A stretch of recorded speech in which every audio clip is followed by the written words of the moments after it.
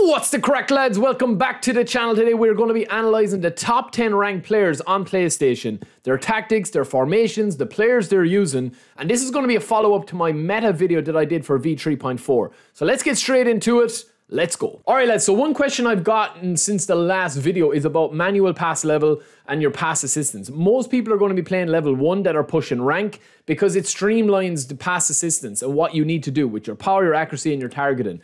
If you guys want me to do a dedicated video on the differences between level 1 to level 4, showing gameplay like this, I will do it. But get in touch in the comments below, give the video a like, and we will get on that as well. But essentially what you want to be doing with meta is as little passes as possible and the easiest access to the goal, the quickest route to goal.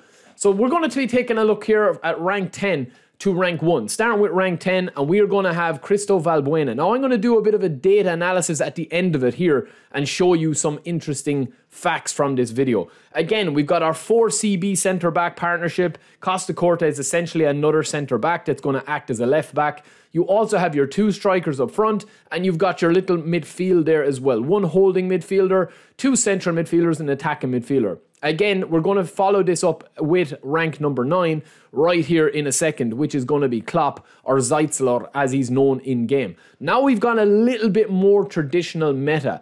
This is a 4-2-1-3. You've got your four centre backs. Again, that's on the checklist. Most players are going to be using four CBs. When I say four CBs, it essentially means three centre backs that are positioned as centre backs, and then a right back or a left back or whatever full back you're using as a player that can also play CB but is able to play right back. So Araujo, Tomiyasu, Bergomi, very interchangeable, very, very, very uh, much so that you've got variety there. And your three centre forwards as well.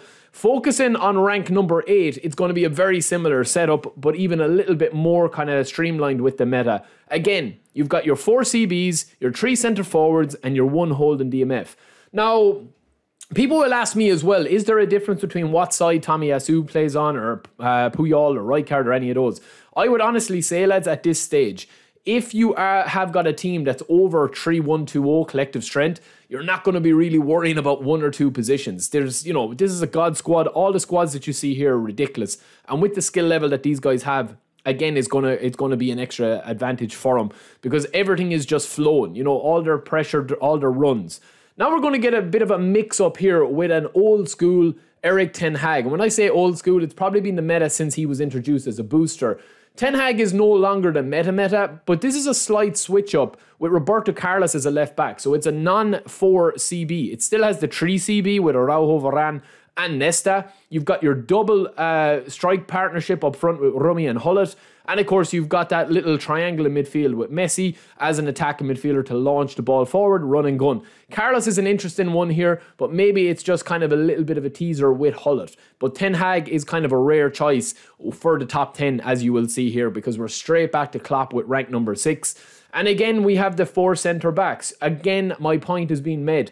Puyol, is a CB, but he can play right back and he's 103 overall. If Araujo is struggling centrally or Puyol is struggling on the flank, you can swap out any of these and tuck in another centre back, or you can put Araujo out right back because he can play there. Single pivot DMF and your trio of strikers up front again. So and this guy's actually got one of the lowest collective strengths for the squads that you're about to see. But are you guys starting to see a pattern here develop? Because, you know, it's very easy to see it. Again, we've got rank number five, Klopp again. So this is going to be another formation with a couple of new players in here.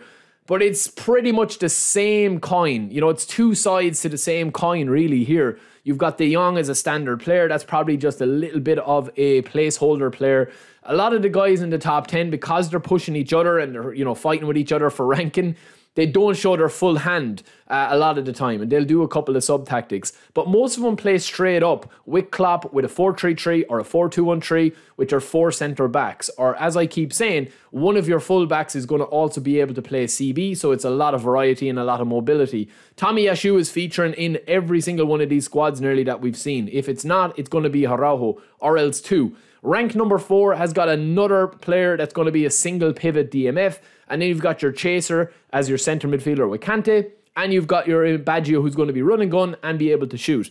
Most of these guys that are in top 10, they are used to just completely bombarding you with tactics and with actual skills on the sticks. That if they do get a chance their, you know, conversion ratio up front is probably about 85 to 90%. So if they get a sniff at goal, they're going to be popping it in. Shevchenko, Neymar, and Mbappe. Again, I wouldn't say that that's his final final form uh, formation here or players.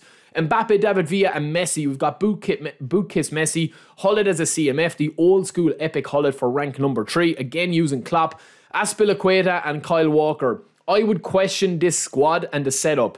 Um, one of the lowest collective strengths as well, under 3 100. I would question this with the holding player, the double pivot that we have here with Rodri and Vieira.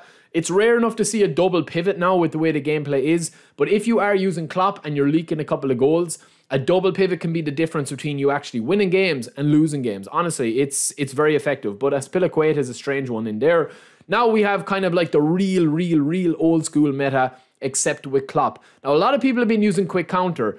The one thing I'll say about quick counter, if you haven't watched my other V3.4 meta video, the new current meta, you will see, and at this, we're going to do a bit of a data analysis on it, as I said, because people were kind of saying, oh, possession this, possession that. Possession is really overpowered, but you will see that most people in the top 10, com- uh, even the top 50, top 500, are going to have a combination of what you're seeing here. This is a sample size of the top 10. And you will be surprised enough with the data at the end of it, as we as we show here. Tomiyasu and Araujo again. You've trio centre forwards. Now this is the rank number one at the moment. This is kind of the new formational meta that we talked about. This works really, really well if you've got an exceptionally good uh, core of players with Rijkaard, Araujo, De Jong, and Vieira. All of these are over 100 or 100 rated. Bergomi and Tomiyasu can also play across the, the back four. You can shove Rijkaard out DMF and bring De Jong back. You can, you know, with the formation changes, now there's a lot of variety there. Ribery is a fantastic option. You've got big time Mbappe and Messi up front. One of the best players in the game is Mbappe. So that is just kind of the top 10 analysed. There isn't much variety in it which brings us to our data. Now, we're going to play this out as simple as we possibly can, right? And we're going to show you a couple of things. Now, this data that I have done out here is a top 10 ranking in a spreadsheet kind of style and it's just visualized, right? So we've made a visual graph or two. Now, on the left, you're going to have the split of the top 10 which players are using Ten Hag Booster, which players are using Valbuena, which players are using Klopp. And you will see that eight of the top 10 and five of the top five are using Klopp. One are, out of the top 10 are using Ten Hag, and one player of the top 10 on PlayStation are using Valbuena. On the right side, you have four CBs, eight squads in the top 10. Eight of the top 10 players are using 4CB setup and a 3C, uh, 3 centre forward. Seven are using a 3 centre forward setup as well. And then we also have a single DMF. How many of the top 10 are using a single DMF setup? such as Vieira, such as Rijkaard, such as any of those. Well, that's eight as well. So this data, again, people were talking to me about possession game and about Pep and saying, oh, I'm beasting with possession. There's always going to be exceptions to the rule, man. Always going to be exceptions to the rule.